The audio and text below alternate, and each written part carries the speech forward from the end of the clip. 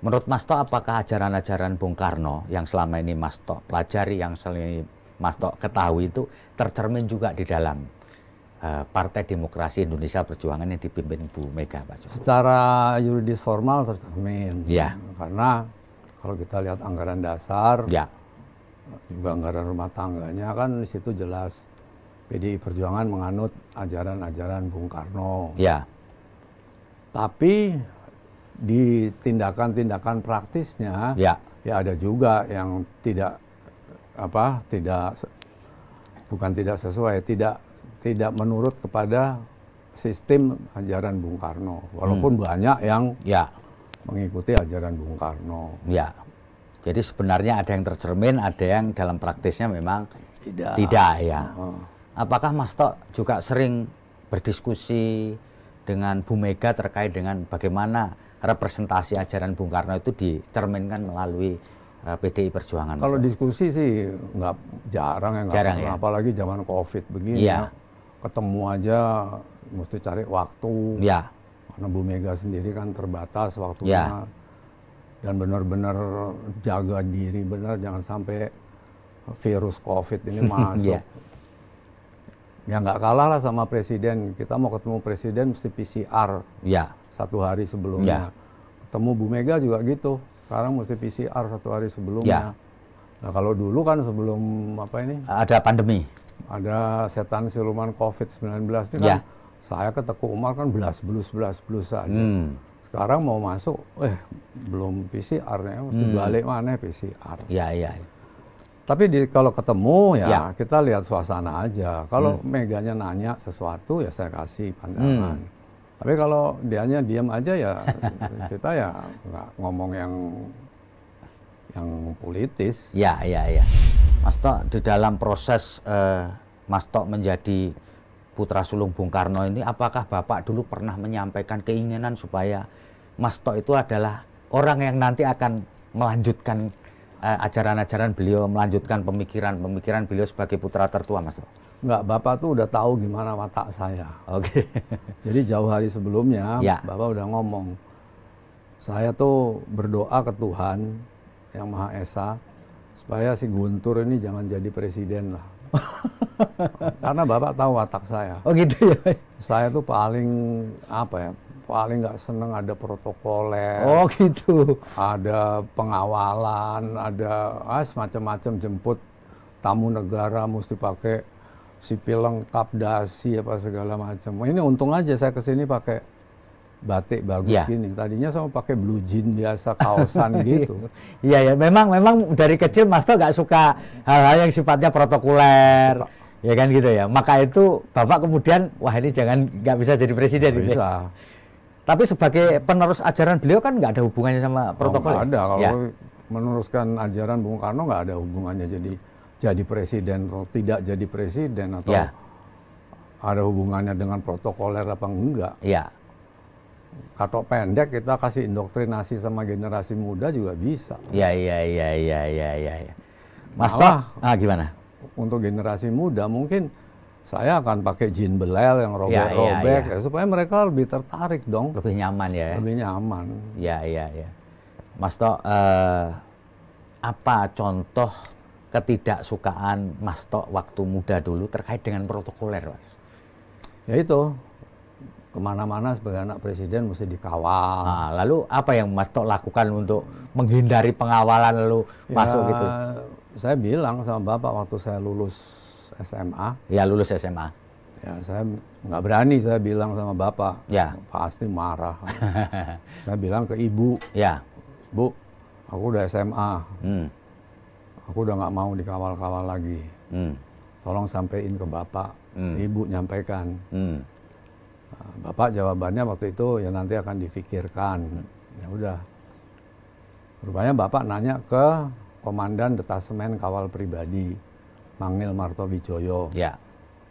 Pak Mangil nggak berani Ya. menjamin kalau sampai ada apa-apa pusing nanti. Hmm. Terus ke komandan ajudan senior Ya. waktu itu belum komandan. Eh, Kolonel Sabur dia juga nggak berani. Hmm. Lebih baik jangan pak. Pokoknya nggak ada yang berani Iya, lah. iya, iya. Ya udah. Jadi Terus waktu saya tanya satu pagi, Pak, gimana nih mengenai pengawalan?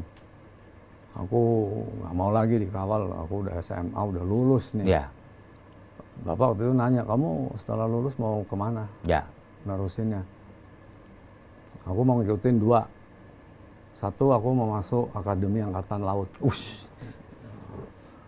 Kedua, kalau enggak ya ke ITB Bandung. Hmm. Mana yang manggil duluan, aku masuk. situ. Ya, ya. Eh bagus dua-duanya. Ya tapi tuh soal pengawalan gimana? Hmm. Loh, memang kenapa sih kalau kamu dikawal kan mereka kan cuman kalau di mobil duduk aja kan Ya. di sebelah.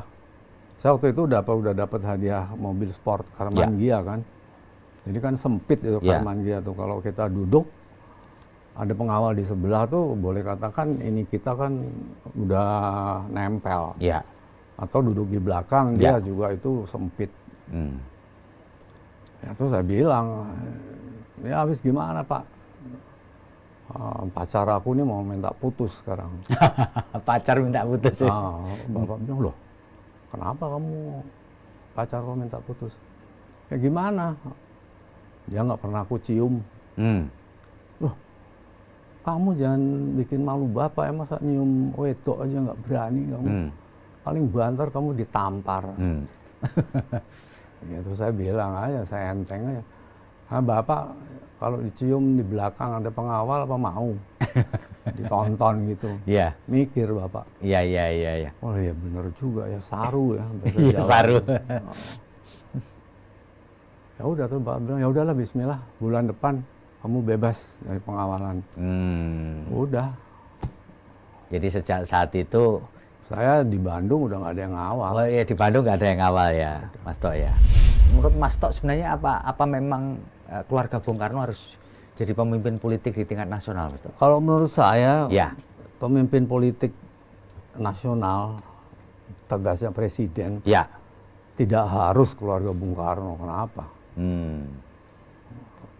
Orang lain punya kesempatan yang sama Hmm.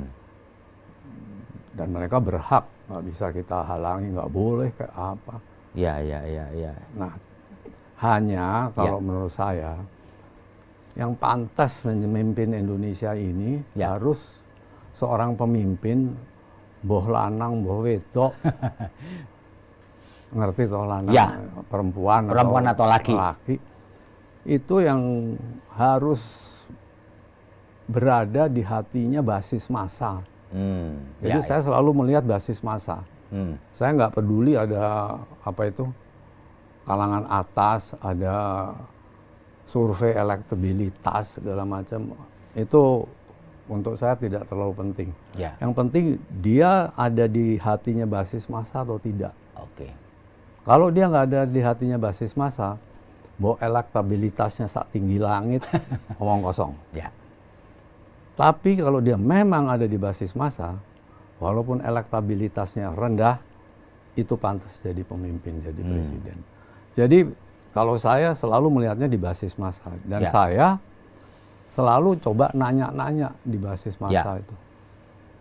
Nanyanya gampang aja, Ya, misalnya apa tukang ikan yang suka ke rumah, saya Hmm. nanya, beli ikannya pak, Ya. saya kan piara ikan, ikan Hmm. hias, Ya. 10. Dah, waktu mau bayar, saya tanya, eh, namanya si Udin kan. Hmm. Din, ya nanti kalau ada pemilihan presiden, kamu milih siapa? Ya. Dia sebut nama. Yakin tuh kamu? Iya, saya cuma milih dia aja. Ya udah nih, duitnya ambil. Ini bayar ikan loh, bukan Hmm. bayar tadi. Udah. Nah dari berbagai yang hal begitu yang saya coba di Bandung, misalnya di Jawa Barat, segala macam, saya bisa tahu siapa yang sebetulnya sekarang ini sudah mulai tertanam di basis-basis massa. Itu ya. Ya, saya nggak usah sebut nama, Iya, iya, iya. tapi ya pastinya ya di Febi udah tahu lah. Jadi dari situ apakah itu juga nanti akan diturunkan supaya putrinya Mas Tok ini bisa melanjutkan eh, pemikiran-pemikiran ajaran Bung Karno untuk masa-masa ke depan?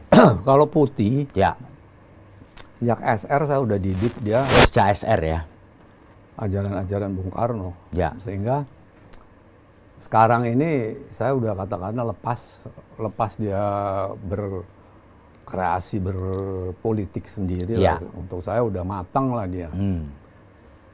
Nah, dia mau jadi apa, mau jadi apa, dia udah matang deh. Hmm. Dan banyak orang nggak tahu sebetulnya putih itu Ya, eh, selama sebelum pandemi dia itu jadi apa itu eh, pengajar Hmm. dosen terbang ya, dari universitas di Jepang, Ya. Universitas Konkusikan untuk mata kuliah masalah-masalah Bung Karno ya, dan masalah-masalah Indonesia. ya. Nah, tapi sejak pandemi stop dulu. Hmm. Gitu.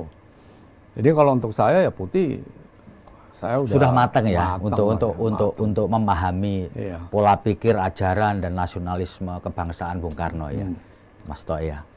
Hanya dia sekarang itu karena eh, udah tiga periode tuh di legislatif. Iya, Saya hanya menginginkan dia ada satu periode dia masuk ke eksekutif ya, supaya dia kulino. ya, ya, ya. Karena ada perbedaan apa langgam kerja antara legislatif Dengan sama eksekutif, iya. Cuman itu aja. Di zaman pemerintahan Pak Susilo Bambang Yudhoyono dan kebetulan mewakili keluarga untuk menerima itu adalah Mas Tok sebagai putra tertua. Bisa diceritakan Mas Tok proses bagaimana Bung Karno mendapatkan gelar sebagai pahlawan nasional. Kalau prosesnya saya nggak tahu. Ya, Kok Bung Karno kemudian dikasih gelar pahlawan nasional. ya, Hanya waktu saya diundang ya, untuk mewakili, ya. saya mula-mula nggak mau, Oh, semula nggak malu ya. nggak mau. Hmm. Dan itu sampai diadakan rapat, Mega kalau nggak salah Iya. ngundang rapat Ya, di kediamannya Teguh Umar, ya, dihadiri tokoh-tokoh ya partai ya segala Iya. macam. Ada juga Pak siapa tuh? Dulu sebagai apa Pak Jimli Asidiki. Oh. Jimli Asidiki ya. Itu sebagai apa ya dulu ya? Zamannya itu. Mungkin ketua MK. SBY. Iya. SBY. Ah, Saya lupa itu. ya. Ya udah, saya bilang sama Mega waktu itu, Dis, udah yang kamu kasih mandat mewakili keluarga kamu aja lah. Oh, Bu Mega maksudnya ya. Ah, saya panggilnya Adis. Nah, Nggak mau dia. oh Bu Mega nggak mau. Nggak mau. Enggak mas, kan masih ada mas Hmm. yang lebih tua. Ya, Alah, cuman nerima gini-gini aja, selempang aku nggak mau. Enggak, aku nggak mau. Mas aja. hmm. Terus saya, saya bilang sama sama menantunya Pak Hatta, Mas Ri Edi Swasono. ya, Mas Ri Edi, aku juga nggak mau lah. apa waktu itu Mas Tok nggak mau Terus Mas Ri Edi nanya, lu kenapa Mas? Ah, Ya, kalau cuman suruh datang dikasih apa? Dikasih penghargaan, terus dikasih sertifikat Bung Karno pahlawan nasional, apa gitu-gitu. Nggak Ya. mau aku. ya, Lalu Mas Tok apa syaratnya? Syarat saya Presiden SBY setelah menyerahkan apa selempang pahlawan nasional, Nasional.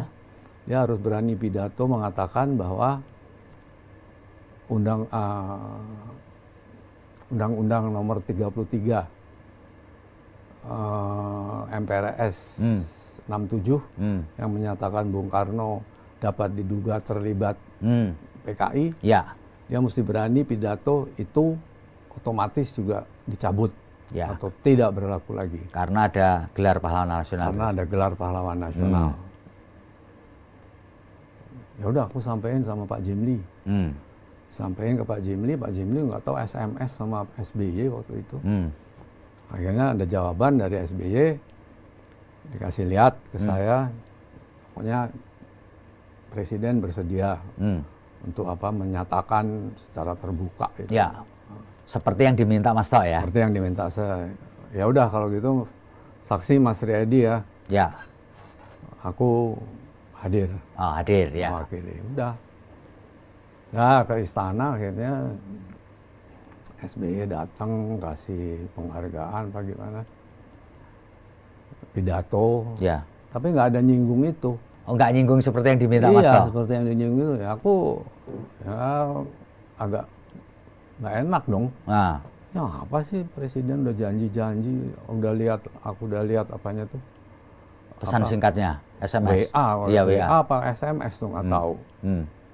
mau ngomong pidato mengenai keputusan MPRS 33 67 mengenai Bung Karno patut diduga terlibat G30S kok nggak disinggung-singgung sama sekali. Hmm. Cuma jadi pahlawan nasional gitu Hmm. aja. Dan itu sebetulnya kan panjang tuh rangkaiannya kalau itu dipidatokan kan. Ya. Saya mengharapkan itu, Ya. tapi nggak kesampaian ya udah Hmm. Nggak protes Mas Tok waktu itu, Mas? protes Ke, ke siapa? Pak Jimli atau ke... ke SBY. Oh, Pak mana pidatonya bilang. nah terus Pak SBY waktu itu... Nanti lain waktu saya akan pidato lagi katanya. Hmm. Ya, Sudah. Terima kasih sudah nonton. Jangan lupa like, subscribe, dan share ya.